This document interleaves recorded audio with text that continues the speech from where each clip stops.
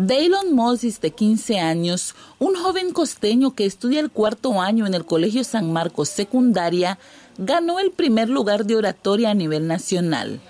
Ahora tiene el reto de representar a Nicaragua en el concurso internacional de oratoria, a realizarse este 5 de noviembre en el vecino país de Costa Rica.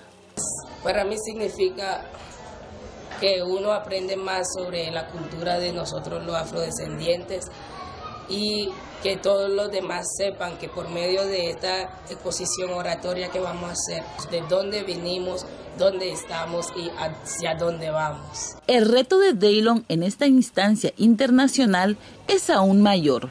Los que lo conocen confían en su inteligencia y en el poder de su voz. Nosotros nos sentimos muy orgullosos porque es una actividad de los afrodescendientes donde vamos a poder transmitir a nuestros hermanos de otros países la historia, la cultura y la gastronomía de los afrodescendientes que existen en la costa caribe de Nicaragua.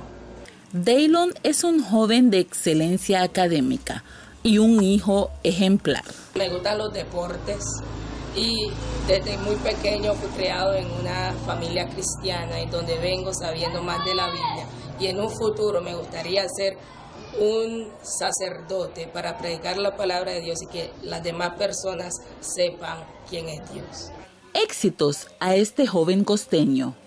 Desde Bluefields, Neida Dixon.